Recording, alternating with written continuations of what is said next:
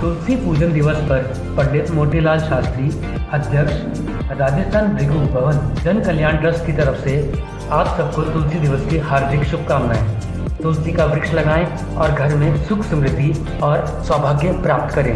राजस्थान में भारतीय जनता पार्टी की सरकार बन गई है, लेकिन मंत्रिमंडल का विस्तार अभी होना बाकी है। और आपको बता दें कि आज सोमवार को या मंगलवार की शाम तक उन विधायकों को फ़ोन भी जा चुके होंगे जिन्हें मंत्री पद अब मिलने वाला है। लेकिन लगातार भारतीय जनता पार्टी सत्ता में आने के बाद में ताबड़तोड़ सभाएँ, ताबड़तोड़ स्वागत, ताबड़तोड़ अभिनंदन भी किया जा रहा है। इसी को लेकर आपको बता दें, दूदू के अंदर डॉक्टर प्रेमचंद बेरवा, जो कि राजस्थान के नव निर्वाचित उप मुख्यमंत्री है, जिनका फागे के अंदर भी स्वागत और अभिनंदन किया गया।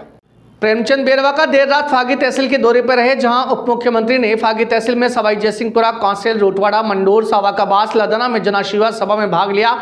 सबसे पहले महात्मा गांधी राजकीय विद्यालय सवाई जयसिंहपुर में जनाशीर्वाद सभा में ग्रामीण ने उप मुख्यमंत्री प्रेमचंद बेरवा का भव्य स्वागत किया। ग्रामीणों को संबोधित करते हुए उन्होंने कहा कि आप लोगों के प्यार और सम्मान से दूदू विधानसभा क्षेत्र का पूरे राजस्थान में नाम हो पाया है। साथ ही अमित शाह ने और प्रधानमंत्री नरेंद्र मोदी ने जो ज़िम्मेदारी दी है, उसका विश्वास के सम्मान करते हुए सभी को साथ लेकर आगे बढ़ना है। राजस्थान के विकास में महत्वपूर्ण योगदान भी देना है।